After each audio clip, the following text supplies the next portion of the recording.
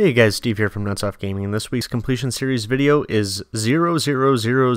This is a 2D game with a bunch of different levels, actually a, a little bit of an interesting concept. Once you die, you go on to a random level, it's not a linear game, um, so a little bit different.